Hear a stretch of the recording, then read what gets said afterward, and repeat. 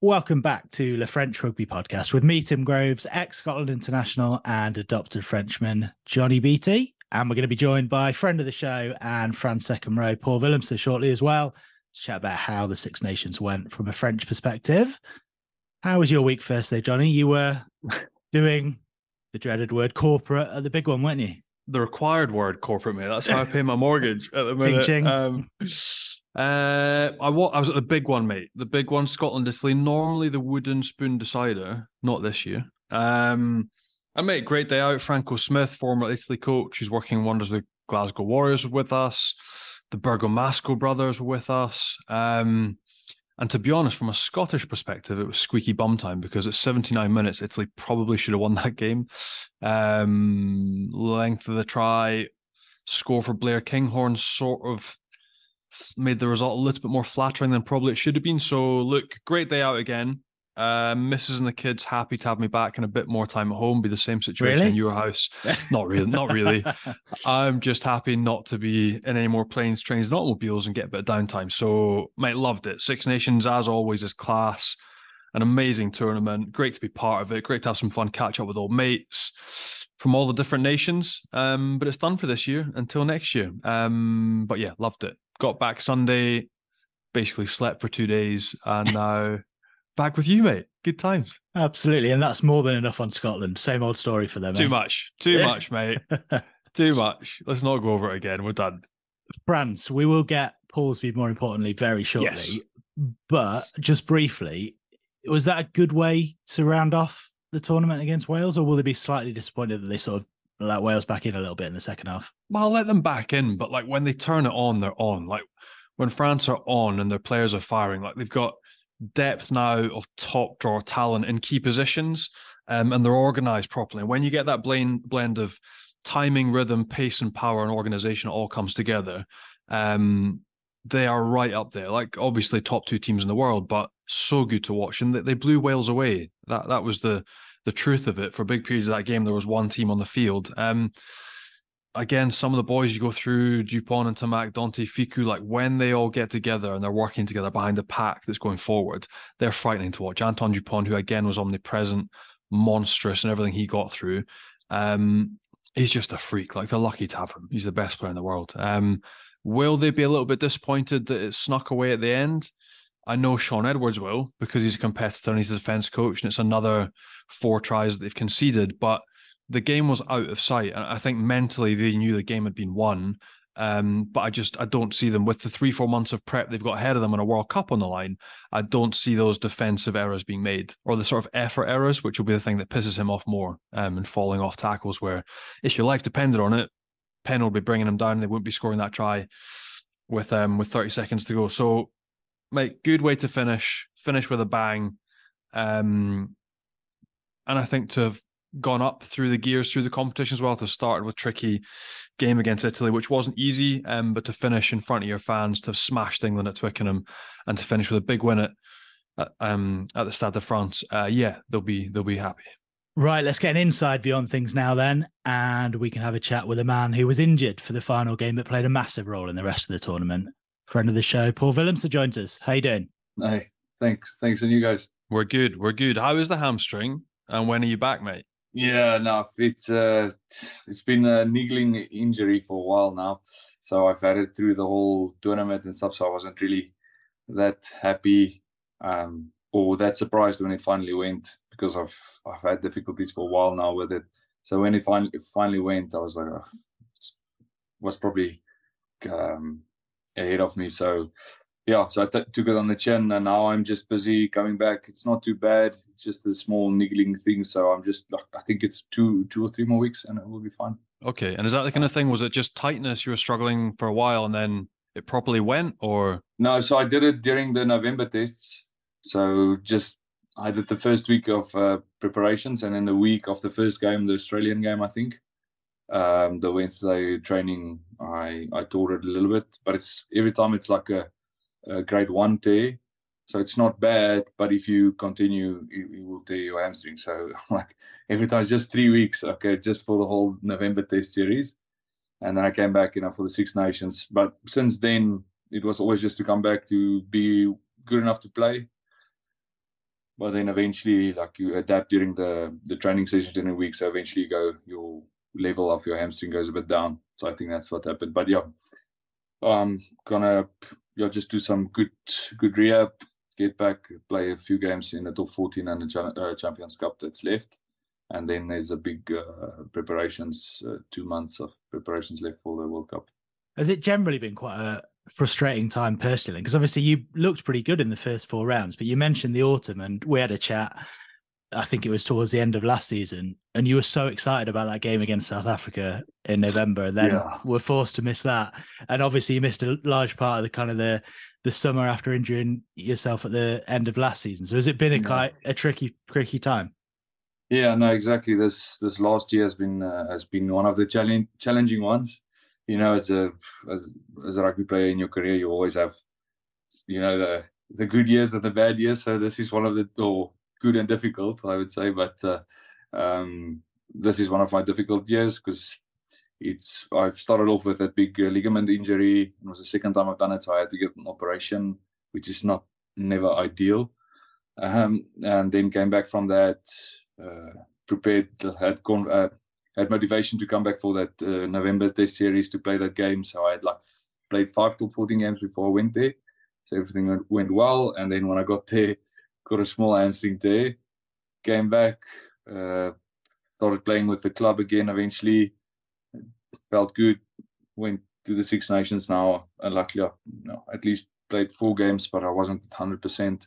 And then it went again a little, a little thing. So yeah, it's it's just trying to get back in and get a get a get a niggle and then fall a bit just by building yourself up again and then fall back. So yeah, this this has been a little bit of a difficult season for me so far. Something to be said for having chicken legs, mate. Not having massive hamstrings that need to strengthen up. Just having little chicken wings that you can't tear, like mine. Um, how are you generally? Like when you're injured, some boys walk around they're like bears with sore heads. Some boys they don't mind the rehab. Like, which side of the fence are you on? Like, obviously, this year has been super frustrating and annoying yeah. for you. But generally, what are you like? Because you get some people that are absolute disasters, and some boys that actually mm. take control of rehab club and are good fun to be around. So, which side are you on? Yeah. So now in my career, now that I've I've had like almost 11 years professional i've kind of gotten it down because it's it's happened a few times already so I, I normally take my one or two days that I do whatever I need to do to get it to get it off my chest, the frustrations. So either that's coming home and eating everything I see. Or, Amen. or, or whatever it's flipping just chilling out or even my wife knows as well. Like if I injury, like she leaves me alone for like one day, one or two days and then do whatever. If I need to cry, I'll cry. If I need to eat, I'll eat, or whatever I need to do. But normally it's food for me, though. So because uh, uh, you normally you really really on a on a tight uh, diet and stuff like everything is it's like literally fatiguing uh, to be on top of your your food and your, your diet and all of that. So when something happens, you know, okay, well, I'm not going to do something for a while so I let myself go for like one or two days. And then after that, I make a conscious decision. So, okay, listen, it's done. It's finished now. Now start looking ahead and start getting back. But yeah, if it's if if it's happened a few times in the same year, that's a bit difficult. The third or fourth time that you get, okay, you need to go again. So whenever she, whenever your wife sees you get injured, she basically stocks the fridge and leaves for a day or two, and then comes back and says, "Right, that's it. Come on." Yeah, yeah, on. that's most yeah. Because uh, when I get home, there's there's lots of food waiting for me. Like not even not even in the fridge, just on the table, like freshly bought or some baked uh, some baked uh, baked uh, sweet stuff. Uh, you know, she, she, knows she knows how to how to treat me. I don't want to talk or nothing. I just want to get in there say hello and start eating. Red meat and red wine. I love it. I love it. Mate, enough of the injury chat. Let's rewind the clock a little bit. Back to Twickenham. How big a result was that for you? Were you surprised by how it unfolded, and what was it like for the squad? Yeah, it was a pretty big build up for us as well because we had we had that match against Ireland that did, obviously didn't go away, and uh, that was kind of a big moment for us because yeah, we didn't perform like we nearly like we we wanted to or planned. We did stuff that we never did normally, and it was it was really a difficult game for us. But we knew because we lost it, we just gave it to them. Like it's it's different when you when you knew like okay, you played your best game and the other team team won. You know, okay, they were better. Fine, take it. But we made so many mistakes, uh, discipline and handling errors, which we normally don't do. And our kicking game was poor. So yeah, so then we lost it, and with that, you obviously lose the Grand Slam and all that because we also wanted to to go for that a second time. So you you, lo- you lose that and everything, uh, and the loss and the Grand Slam. So now, is what's our next objective? So luckily it came up that the the English team with we, have not never what, it's been 18 years. Mm-hmm. The last time we've won them in the Six Nations. So that that came up and luckily like every single six nations there was always like something to go and look for uh, some type of record or or whatever so the whole staff and everybody like i felt like jumped on that and said okay well let's go and create our history because our motto it's it's it's is our jersey and our our our, our our story so we said okay to build our legacy as our team this will be an awesome thing to have so we kind of use that as a motivation. Uh, and then for for Fabien, our coach, it was personally for him, it was also like a really big match. Like I've never seen him really switch on like this in a, in a team meeting or during the week, because uh, you could kind of feel during the week this is uh, a little bit more more important than the other, uh, than the previous games had for him.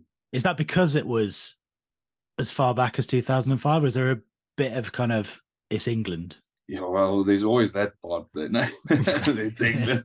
yeah, there's always that part, but I think, yeah, personally for him, for him as a player as well, there were some, I think, some some games there in the in the past that was difficult for him. Um, and then, yeah, the part that it's England. Um, but yeah, I think because it, it, it, falls nicely into our, you know, into our our kind of objective into creating our history as our team and and really solidifying our team as something special in uh, uh, in uh, in the French rugby history to make sure that we we stand out and that we we were a special team. It's it's all these little little things, these little records that I think maybe in 20 years time people will remember this team. If you've had a few of those things, because it will constantly pop up the next time.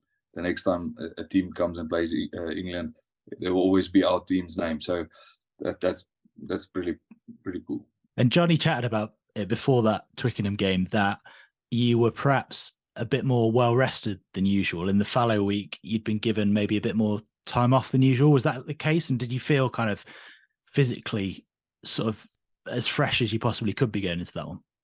Yeah, because we we had a whole week off. Uh, I think before that game, so that was quite, and we and we really so this time we tried something different with our um, with the preparator physique, uh, the conditioning coach, where he really said he wants us to to be physically good at the end of this uh, of the of the series.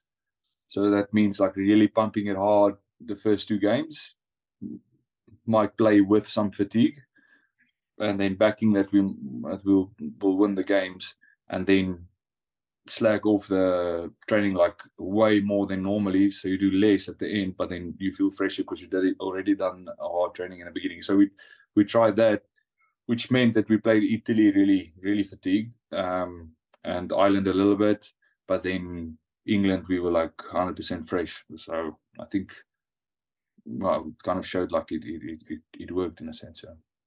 Mate, it certainly worked. By the way you performed, like it was some game. Um, yeah. and like there was some chat previously in the week as well, like leading up, you were talking about Maro Itoje and you'd said some nice things about him in the build up, but you also thought he was more of a back rower than a lock as well, which I laughed yeah. at. But like, how, how, much did you enjoy these battles on the field as well? Because it was completely dominant from a French perspective, really. Yeah, no, exactly. Like, after the game, I had a, had a, had a few chats with uh, chats with the with the boys afterwards, and yeah, yeah, for them obviously it was just like nothing went their way, mm. and uh, games and them they always they they told me like normally if you lose a game you can say like, but at least we had them in the in the in the scrums or we had them in a in the lineouts or something but it was quite neutral or a little bit our our side even with the set pieces and all that as well So I think just everything went really well for us during that game, and, uh, and I think we were really prepared. But yeah, we also changed changed our, our game plan a little bit regarding our, our, our exits, just to catch them off guard for what they thought they were going to receive. So that also helped. But then as well, like Ntamack and uh, Antoine. Uh, you can't. I, I don't know if you you're playing against them. Like even in top forty, when you play against them, like you can't really prepare They're not bad. against him because They're not bad. Eh? he pulls stuff out of his head, the magic head, but like you can't. Sometimes it just goes well, and I think like literally almost every single opportunity that we had in that game, we we capitalized. And Johnnie mentioned Maro there. You did you you did speak nicely about him. You said he disrupts the game. You obviously are well aware of what kind of a player he is. But it's uh, like other coaches have picked him in the back row. Some coaches have picked him in the second row. So you know, you think he's a back row, eh? Yeah, I know because um, it was like a kind of inside joke for for me myself because I normally give all the locks that I play with, the the loose head locks. I all I give them all crap because I tell them no, it's only there's only in today's rugby there's only one real lock left. Yeah, you know, and it's a tight head, a tight head lock. So I give I give I give all of them a bit of a a, a go and telling them no when they call themselves locks. I'm like, oh, that's that's weird because uh, uh, in, in, modern rugby you're seen as a fourth Lucy, you know, like because uh, that's not. and I, I, like to pride myself on the idea that there's only one real lock left in today's rugby. But yeah, it's funny about that thing because it was a quick interview I did at the end of the game, and then at the end of the Ireland game, I think, yeah. Uh, and then that article went like to South Africa in a SA Rugby magazine and stuff, and they were like just headline. Uh, yeah. Paul Willemse says uh, George is not a lock.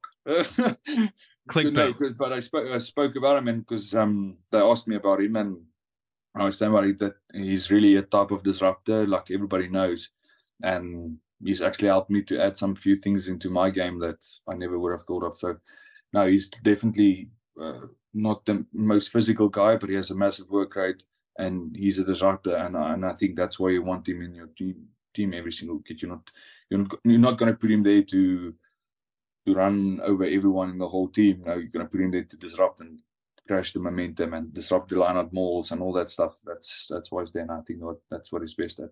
And then on the back of all this, your teammate Zach Mercer helps the situation. I understand he was winding you up as well, saying, you know, your type of lock, Paul, are long gone. It's the Maro and Ollie Chessum, they're the future. Yeah, yeah, I know we have a go at each other every single night, keeps it interesting.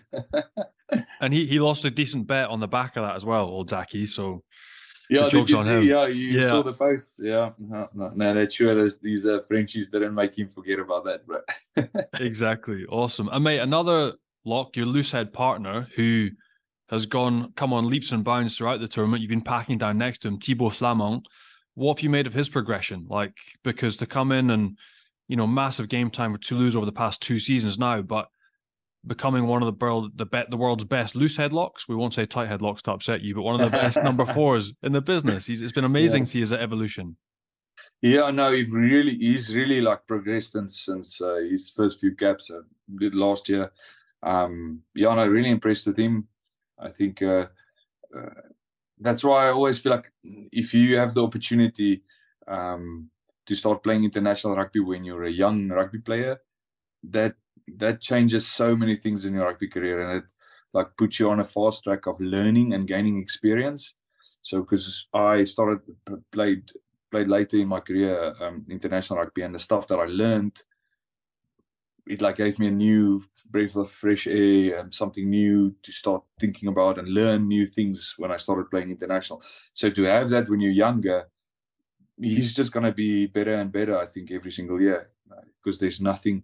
Because at the moment, if he's playing like this with with the limited experience experience he has with his age, that's just gonna improve. So yeah, I'm quite excited to see him in the future because, uh, like I say, he's just gonna start adding new things into his game and uh, be more precise, be more, uh, uh, yeah, ready for all types of situations. So this, I just think he's gonna get better and better because yeah, he's really been improved. He's really improved a lot since the last year.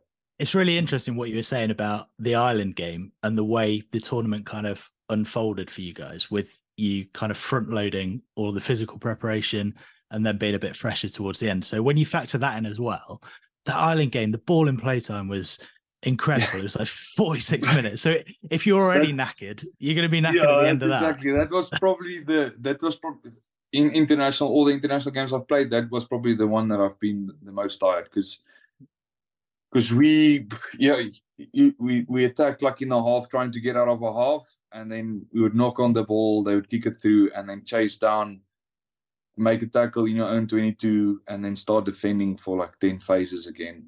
It, it was crazy. And then then for some way we get a penalty or a turnover then we kick it long. We don't kick it out. Then we chase they come back with the with the counter attack and then it's the same. Just poof go through turn around run back our, our forwards that game were, were dead. But what was it part of strategy? Because you played out of your 22 so much. You tried to keep the ball in play. You didn't put the ball off the field. So is this a plan that you haven't been told about and now you're angry because you were exhausted during the game? Or was it like, did Antoine and Romain, did they have a plan to keep the ball on the field and play out? Or was it not something that was discussed? No, because we kind of, we kind of have a well, play like we don't play in our own half stuff, but we always leave a little bit of a little bit of uh, play for guys like Antoine and uh, and Ntamack to do what they need to, and then we just need to mm-hmm. react. Mm-hmm. But yeah, we were just we weren't just because sometimes you'd see us start picking picking going in the fifty, but it's it's always it happens when somebody when a player makes like ten or twenty yards. So if you do a pick and go in your own half, it's fine if that guy runs like ten or fifteen meters because then you're on the front foot uh, it's fine. It's like it counts as, as a type of an exit. But yeah, I just think in that game, like the forwards didn't didn't do it. I think like Antoine Dupont left us opportunities to do that stuff, but we just didn't take them. And then they tried to force it, I think, a little bit to make something happen from the middle of the field. Um, yeah, I think if you look back on it, it's just I think we should have seen it a bit quicker in the game, start recognizing a bit quicker and adapting and say, okay, listen, nothing is working for us now. Let's just, just kick it and spare spare the forwards uh, a little bit of energy. But oh, yeah, that type of games happen. So well, I, I think if we if, if we faced Ireland a little bit later in the Six Nations, it would have been a different story because uh, we also didn't have a great performance against Italy. Mm-hmm. Um, because you know, and that and that was nothing to do with energy. That was just made too many too many mistakes, too many penalties. Um, yeah, so I think just some a bit of rust or, or I don't know what to hell. Those first two games weren't weren't our best. Aside from the Ireland game, obviously, as soon as you lose that game, you know you can't achieve your ultimate goal of winning the Grand Slam, and it was always going to be a a stretch and you were relying on them to slip up to to win the tournament. So when you look back on the tournament as a whole, obviously it will be naturally a bit of a disappointment because you wanted to win the title, you wanted to win the Grand Slam. But how do you rate it from a French perspective? What went well and what areas are there to be improved on, do you think? I think the the thing that I can well I personally will take away is that um, I think this tournament we saw that we were capable of adapting really quick and making changes in our game plan really quick. Um, which before and like all the previous six nations, we kind of had our game plan and it was kind of set and we didn't go out of it. We just stick to it. And it, it was quite necessary when, because we had a younger group, less experience and all that.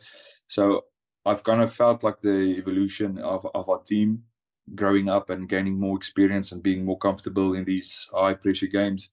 Um, and during the weeks because uh, we straight after the Italy game we almost sorted out completely our discipline thing, and then after the after the Ireland game, uh, I felt like it just clicked. We we our kicking game was on point after that, so I think being able to do that because we, we also made a few changes in our game plan. Like we started uh, doing tactical things and uh, especially in the England game, our exits, we changed our exit game plan, and then uh, Antoine and and uh, they they made some few decisions by themselves on the fly, that uh, which were really really awesome for us. So I kind of for me that the the positive thing I take away from this is just seeing the evolution, and I think that can play a big part in the World Cup when you have if you go like you have a few games in a row that you maybe need to change up the game plan, uh,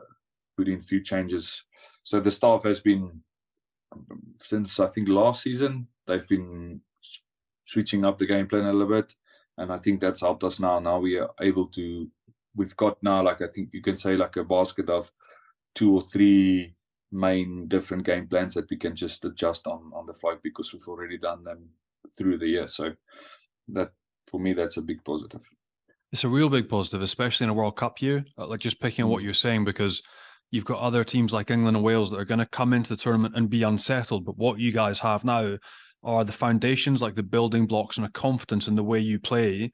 Mm. And then it might take a special something from an Ntamack or an Antoine Dupont or a Willemse at a World Cup. Like you've seen moments from like Jonny mm. Wilkinson, Matt Dawson sneaking some some ground and knocking over a drop goal. We've seen New Zealand dropping a ball through the middle of a French lineout and going through to win big games. So like it's it's amazing now that I see like a platform, an organization, a physicality that's all like top level, and then there's going to be this tiny little bit that divides the top nations come September October time and I believe mm. you've got the players to do it. Like it's an exciting time, which is really cool.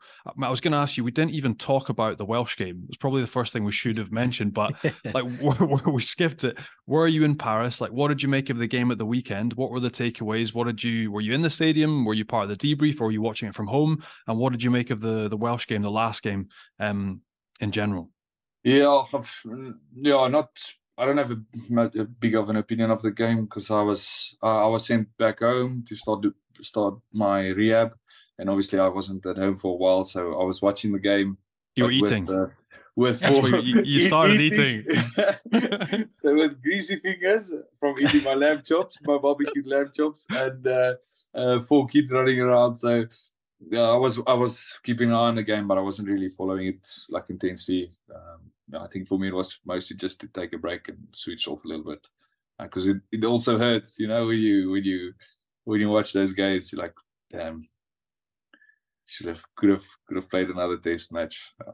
And we've yeah. spoken about the positives. Obviously, this this stats don't mean anything necessarily to you guys, but to Shaun Edwards, I bet they do because he he you're the early stages of your evolution certainly as a team were based on having a really solid defense, and they still obviously are to a certain extent. And he had this record of only ever conceding four tries once in like 76 games in the Six Nations. And then in this tournament, obviously, perhaps because of the evolution and the way that you're trying to change things up, he goes and concedes four tries a couple of times. So no. is he absolutely raging? Or does he kind of get that it's part of the bigger picture? Yeah, no, he doesn't. Uh, he doesn't like it at all. I think, but it's just him. Uh, I think that's why he's in our team because he's really he makes everybody like um, excited about defense and makes it a bit a little bit more important than we normally think about the defense in teams. So that's his thing. Like, uh, and everybody knows it. So uh, we always try to achieve his uh, his uh, goals that he that he sets out for for each and every game, and everybody respects him uh, in that way. So we kind of know he's gonna go crazy or uh, he's not gonna take it well. But at the end of the day, like say, winning is the most important. Doesn't matter how, how you do it. So if you kind of uh, kind of start score if they score four tries against you, you just need to go score five. You know. so yeah, luckily we, I've, but we felt we feel solid. Like we don't feel like it, our defense is a weakness at all, and I think we've had this uh, pretty solid defense for like four years almost now. So other teams are also like evolving and they're also getting better with the attacking system. So they're gonna look for all those little weaknesses and all those little cracks, um, which in the beginning nobody expected us to have a solid defense. Uh, so yeah, that also plays a role, and it's just you know it gets difficult every it's get more it gets more difficult every single season. But still today we don't we don't feel like our defense is a weakness at all. It's a few like the tries that people score against us normally is like really it's it's difficult tries to to defend in any case. So um, yeah, um, yeah. But outside of that, yeah, uh, Shaun, Shaun, uh, yeah, he he has some expectations and he doesn't take it lightly. He doesn't take defense lightly. Yeah. We'll ask you again when you've joined up with the France camp next time. See if he's uh, see if he's happy or not. Yeah, no, no. Mate, another guy. Have to ask you, Damian Penaud, 26 yeah. years old, already joint top try scorer with Philippe Sella, Serge Blanco. Um, how good is he like to play with? Yeah, it's he's like for me, he's the definition of a finisher. Like uh, the typical wing finisher, just if you get the ball to him, like you like almost 50%, like 50 50, it's going to be a try or not. Yeah, because he he's going to make something amazing out of it. Um, um, uh, yeah, so yeah, because he, he, just does, a, and and I love his uh, his expressions. You see him laughing while he's carrying the ball sometimes, because that's the type of guy he is. Uh, always laughing and taking nothing seriously. Mate, that's the best bit. Like his character. Like, can you give a, again? Because obviously, it's a language barrier for everyone in English. But of all the things you see, whether it's him singing at the top of his lungs, like screaming with his laptop, or smiling, like you say, what is he like as a character? Is he away with the fairies? Is he completely away with it, or what's he like as a bloke? No, no, we like it's the uh, typical like Stifler character, you know, like. Uh, so, because he he's crazy. Uh, everybody will be silent and and you just hear him laughing like like really loud in a in a gym or something.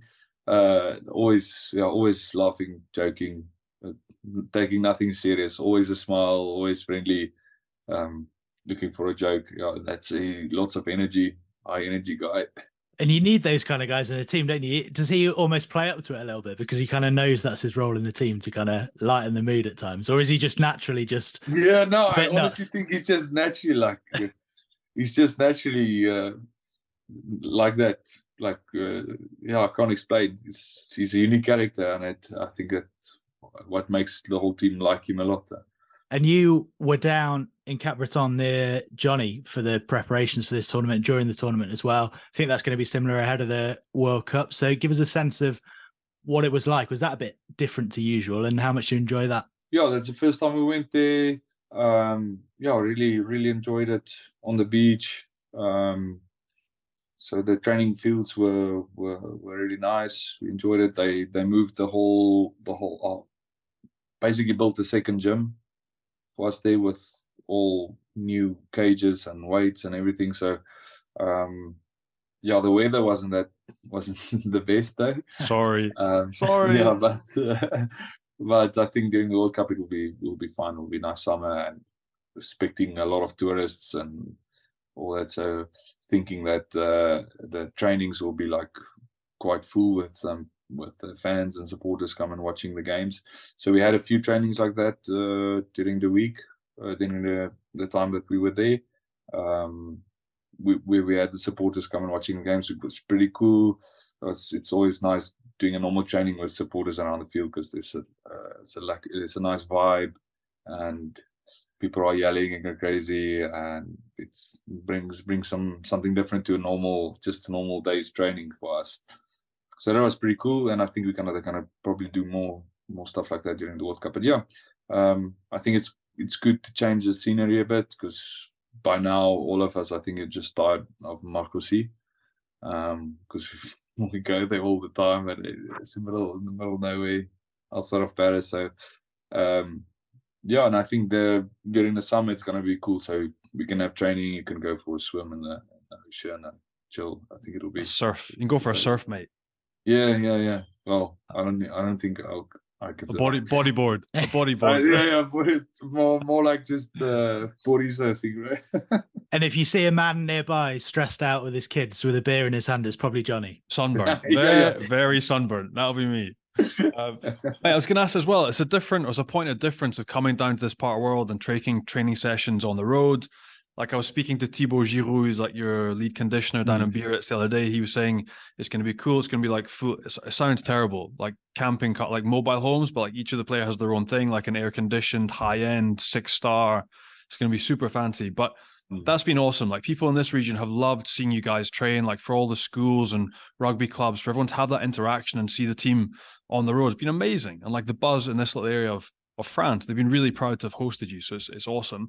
Um, I was going to ask you as well, like on the change and mixing up, like Fabien's also had, you know, his messaging sometimes aligned with the French Foreign Legion. He's had Jean Dujardin, the actor, come in. Nikola Karabatic came in, I think, two weeks ago as well, and like talked about his Olympic medals. Like, what's it been like having those guys come in and give different messaging, but also clearly massive rugby fans? What's it been like having those guys in camp? Yeah, no. So we, um, since the start of like from uh, 2019 or 2020 when we started started training together, we um, he's brought in that thing that he wants like wherever we can find a spot in the season to get someone someone that has a that's an expert in some some shape or form in a in a, in a certain area um, to come and have a chat with us and just try and give us a, a different uh, aspect of this dif- different view of things and like I've really enjoyed it. Uh, in the beginning, it was really difficult for me sitting there listening to a like an hour long speech in French, but but now it's pretty awesome. Like I really enjoyed it because obviously there's always something to learn and take away from people's experience. No, I believe at least. Um, yeah, so like I've really enjoyed it. It was uh, because every week there's somebody for for someone, you know, like you might not, but it was a big thing for for Fabien to have a guest in, like to change things up a little bit and do something different. Um, and I think the players appreciate it because we had some interesting people come come along.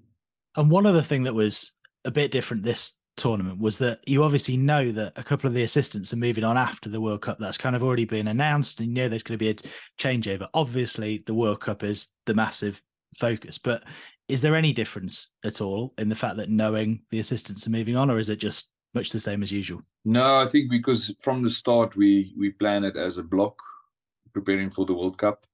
So all our plans and all our preparations were to to go to the World Cup. So everything, all our preparations, all the things that we set in place, even from the first year, we had this graph, the whole thing, this whole graph that we said like this is what we want to achieve, going going up and until finally uh, arriving at the World Cup. So it's like this four year roadmap that we created as a team, and like everything has been going as planned. So yeah, so everybody's just thinking about that. Like I don't think there's anybody feeling any anything else, but like, it kind of feels like now we'll deal with the other stuff afterwards because um, I think there's some maybe some new guys kind of come in and new new staff and all that. So then that will be a, a new block, you know, with the new hmm. expectations and a natural time for people to leave after a World Cup. So yeah, yeah, and I guess but like all the staff, I think for all of them, um, yeah, they obviously some staff want to also become their own head coaches and all that aspirations to have as a coach. And it's also, I think, it's also a, a difficult life as well as being an international coach because uh, you're at home, but then you lots of times you spend with the team and you're not at home. So I, I can imagine also it's not a type of lifestyle that all of the coaches want to live for eight years. So um, yeah, now like I said, we're just planning for this block and preparing for the World Cup, which climaxes at the World Cup. So, um, yeah, we see it as a block, and um, so it's changed nothing in that in that regard. All roads lead to the World Cup. That's what you've been building for. Clearly, yeah. um, it's probably been spoken about the whole way through. You've got that in the back of your minds. Psychologically, is there a difference not winning the Grand Slam? So, if you'd won the Grand Slam, you would have been heavy favourites, right? That's what everyone's billing Ireland as now. Is it potentially a good thing to have lost that game in Dublin, to have had that little hit, and then psychologically have a little bit more hunger. I'm not sure if you can have more hunger if that is possible, but where would you have rather been mentally? Would you rather won that Grand Slam? That's a stupid question. Of course, you'd rather win the Grand Slam, but yeah, no, no, but I get, I get what you mean. I get. Do you know what I'm trying to say? Yeah, like, yeah, is, yeah, is, is, it a better place mentally to be in, having that little itch that needs to be scratched, coming around the well, corner? Well, I was, I was laughing the last World Cup, seeing how all the teams in the media were fighting to be the underdog. like all the teams like, no, no, no. Um, uh, Ireland is probably the. I had South Africa saying, no, we think we're the underdogs. Ireland is probably the favorite. Then And Ireland says, no, we think England is probably the favorite. We're the underdog. So you had like all these teams. It was quite funny. Like everybody just uh, fighting to be the underdog. Um, so yeah, like uh, everybody loves the underdog because uh, then it kind of if you lose, it's it's okay. No, nobody expected more, but if you win, it's so much uh, more amazing or whatever. But um, yeah, I think even though we lost that game, we still have a big expectation on us. a big like we especially favorites in France. Of course. from, the, from the French public, we are the favorites. Um, but yeah, I think uh, because we, we also had like a 14 game winning streak that was also on our hanging on our shoulders.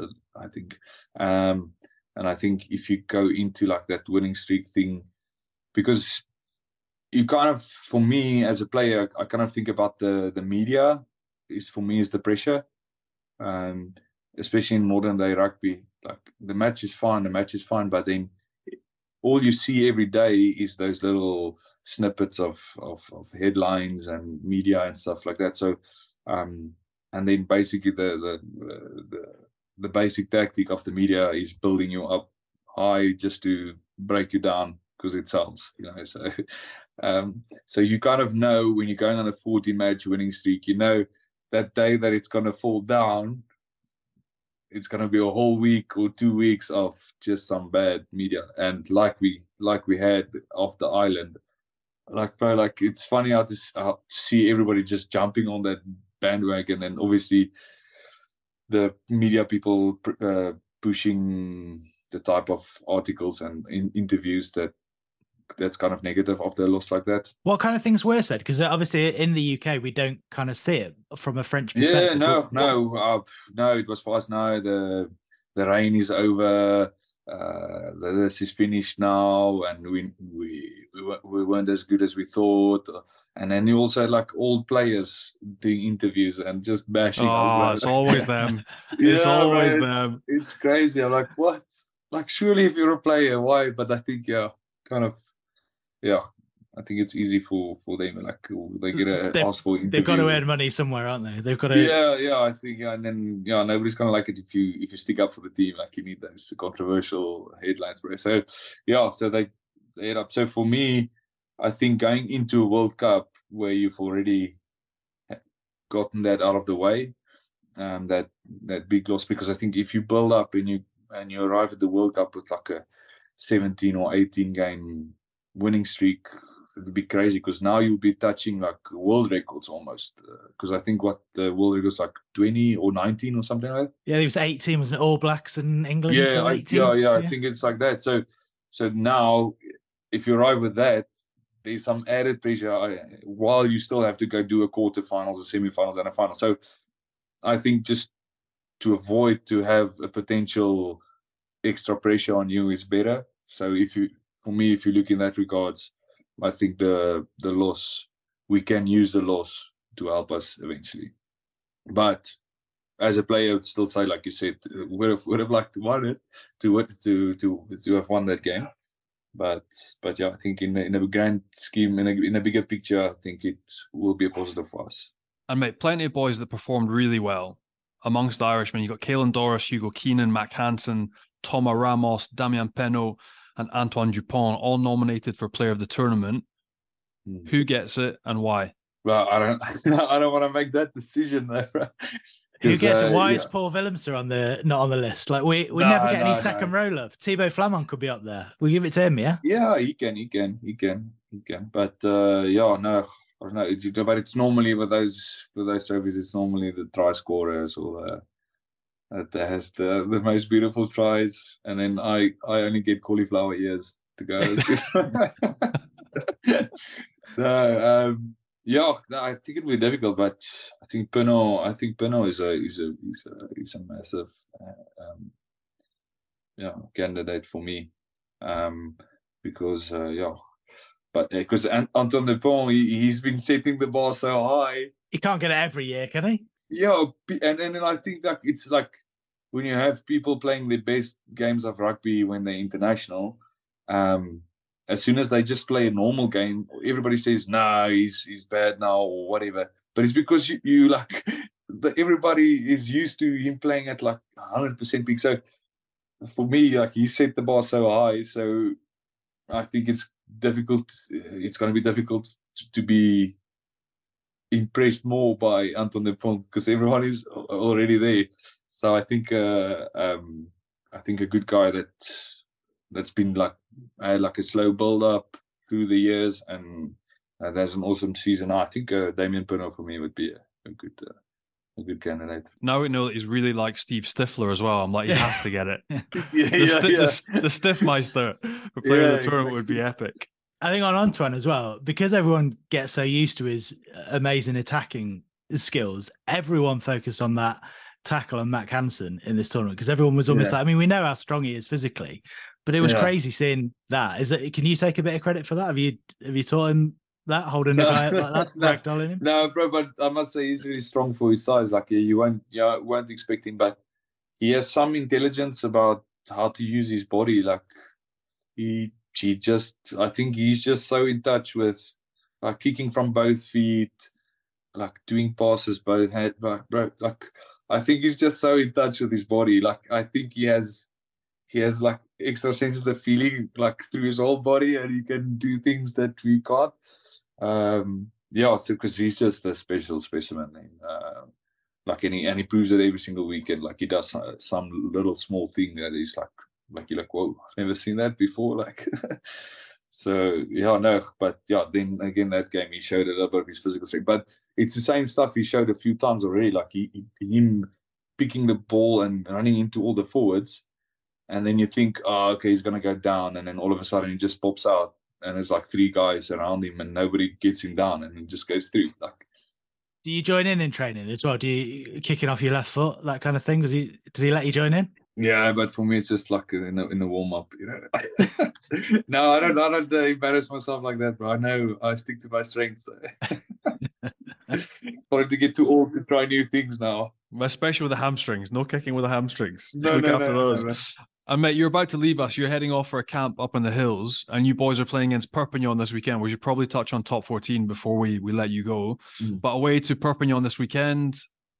What's your prep been like? What's the team looking like? And what are the chances of winning in Perpignan? Yeah, so the staff selected to do the the camp this week because um, you know, everybody knows for us it's a big game because and for them because they can still stay in the top 14 if they win this game and we can potentially make the make the playoffs if we win this game. So for both of our teams and it's like a Derby. It's a derby weekend for everyone. yeah, so it's we know it's going to be a massive game, and then both teams have something on the line for this game. So we said, no, this will be a perfect opportunity for a little camp, a little team building. Um, yeah, so we'll we'll spend the week there. Um, I'll come back a bit earlier with the injured boys so we can do our things. But yeah, no, it's gonna be a massive game, and it's gonna decide decide how we finish the season. So yeah, the pressure is up for us. Uh, but the team is looking good. They've had some holidays. Uh, guys are fresh coming back, so no, I think it's gonna be uh, also yeah, a good game, and uh, yeah, we know how important it is. So we need one of those games where you need to win. And then a little bit of an eye on a trip to Exeter the following week as well, because we often talk about how French teams approach Europe, but that's a massive game. Obviously, they're at home, but there has been a bit more of a focus with you guys on European rugby in the last few years. Presumably, that is a huge target, that game. yeah, yeah, but it's always difficult. Like now, we, we, we're struggling a little bit in top 14, so then it's kind of like let's let's just focus on this uh, Perpignan game, and then so I guess yeah, if we if yeah if we win this weekend, then yeah, obviously we go 100 percent for that for that game for that Exeter game. Um, yeah, and then either way, like if we lose this one, it'll be good to then go again for the go at least as far as you can for the Challenge Cup. So yeah, yeah, it's difficult, but yeah, uh, for us at the moment, it's trying to survive in the top 14 because we're not yet in a position where we really can attack the top six. So for us, it's just to try and get back into the top six of the top 14. Um, that's our main priority. And then obviously, if we did, if we check that box, uh, yeah, then going full steam ahead for that Exeter game. Have you got a week that you're looking for, mate, in terms of getting back and fitness? When are you hoping to be back? Yeah, it's uh, like two or three weeks. So we'll see depending on how I how I progress and how I feel. So yeah, because it's a bit touch and go this time because it's the second time I've had the, this type of hamstring thing. So yeah, we obviously want to make sure that we don't repeat the same the same mistake or the same scenario. Absolutely. Don't rush back. Thanks so much for joining us and Yeah. um, giving us a bit of inside info. And yeah, have a bit more food, relax a bit, and come back stronger. no, I'm not eating, bro. I'm, not, I'm cutting now again. well, thank you very much, I appreciate it. Thanks, mate. Enjoy camp. Yeah, thank you very much, guys. Straight back to the grind for Paul, Johnnie. But um, God, what he was saying then about front loading the tournament in terms of preparing physically, mate, what they were like going into that Ireland game. I mean, I'm like, why not just have light team runs every week? like if everyone's absolutely bust, everyone's gone through the grind of the marathon, the top 14, just give them a team run, make them train on a Thursday, team building Monday, Tuesday, and they'd be fine. Like, it's all part of a master plan. Thibaut Giroud is an absolute machine, uh, loved by everyone that's worked with him it isn't easy. Like this is the thing. You get to the end of the Six Nations period, and everyone's like, "Oh, what will they be doing in training? Like, how will they?" Get? Like at the end, you literally do a team run. Like you do as little as you can. You bandage everyone together because it's so physical, and off you go. But that's it. The different cycles and the different approaches that different unions and federations have because they look after the players in different ways. But clearly, everything clicked for them against England. Um, and even though they maybe felt a bit stodgy physically in the early games, they still managed to get through and win. Um, Ireland being the exception, but it will all be part of the master plan. It was to win that Six Nations. They were there, thereabouts, um, and now they'll have a real prep. Um, they've got all their dates booked in at Cap They've got all their squad announcements all set to go. Um, and I reckon Fabien and Thibaut will be ready to get them all down to the southwest, get them all training the way they want them to, and get them prepped and primed for the World Cup, which is fast approaching. Like it's not far away now at all. Right. We should find out what your Meater moment of the week is, Johnnie. Well, he teed it up nicely for us, didn't he? Damian, the stiff man Penaud, which I absolutely love, the stiff meister. Um, look, he's only 26, which is freakish, but 14 tries already. The French six and five nations try scoring record, tied with Sella and Blanco. If you look at the all time list as well, I've got it in front of me. He's got 26 international tries overall. So he's already ahead of Christophe Dominici, Emile Ntamack. Ahead of him, he's got Sella, Saint-André, Vincent Clerc, and Serge Blanco. But again, a boy that's playing rugby with a big smile on his face, creating absolute havoc and finishing like a fiend. So, uh, Meater moment of the week this weekend goes to Damian Penaud, aka Steve Stifler. There we go. That was Johnnie's Meater moment of the week. And Meater is the world's number one wireless meat thermometer, recently making over 20 million cooks better with their game changing app and completely wireless Bluetooth meat probe. You can use it on a barbecue, in the oven, or in a pan, and you can get your hands on one at Meater.com. Plus, you can get 10% off any full price item. All you have to do is enter the code FrenchPod10 at checkout. That's FrenchPod10, and you'll get 10% off any full price item at Meater.com we touched on the top 14 very briefly with Paul, Johnnie, but some yep. big games this weekend. Mate, it's the Derby weekend, um, which is massive for a lot of these clubs now, given the timing of these games, the Six Nations that's just passed. Um, I'll be down, I'll be down in person at Bayonne against Pau on the Saturday. So I'm going to take my boys down there. I think we're going to make a family day out. Maybe all five of us will go down, but that's been moved down to San Sebastian in Spain. They've sold 40,000 tickets already. Wow. It's a sellout um, at Real Sociedad's stadium in San Sebastian. But going through Clermont-Brive always a big one. Lyon, Toulon, Perpignan, Montpellier, Bordeaux, La Rochelle, the Paris Derby, and Castres, Toulouse. So loads of big games to look forward to. I think I'm working at the, the I think I'm working. I hope I'm working. I think I'm working at the at the Paris Derby as well on a Sunday night with Viaplay. So, mate, looking forward to it. Some massive games and loads of teams in need of some points for host of different reasons. Um, but yeah, it feels like top 14's back after a little bit of a break during the Six Nations. Um, and we'll see what form they carry into the games because they'll be absolutely massive.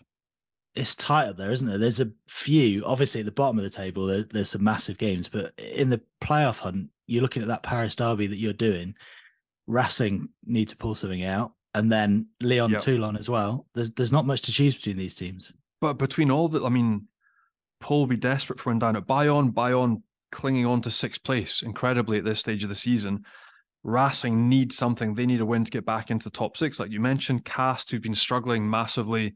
Uh, change of coach, Jeremy Davidson's come in, but they need to find some sort of rhythm to stop the rot because it hasn't been going well. And if they keep losing, they're going to find themselves in the relegation zone themselves. So Perpignan, it's a massive game for them at home to Montpellier. As Paul mentioned, Montpellier trying to find their way back in top six. Perpignan want to avoid relegation. Um, so yeah, loads of different little important games that are going to be huge this weekend and will be telling come the end of the season. Um, and weirdly as well, what state will internationals come back in? What prep has been done. Everyone's off on camps this week to try and regroup and get together because this weekend is massive, absolutely huge for a whole host of teams in the top four in the top fourteen. And Castres struggling down in eleventh at the moment, but there's a yep. few rumours. Pierre Henri Broncan, uh, we know he's got a relationship with Eddie Jones. He could be off to Australia to join. Yeah, that, that would be a surprising one. I mean, if if you if you dial back maybe two months ago, less. So I mean, yeah, just before the Six Nations, when Eddie Jones was sacked, it was almost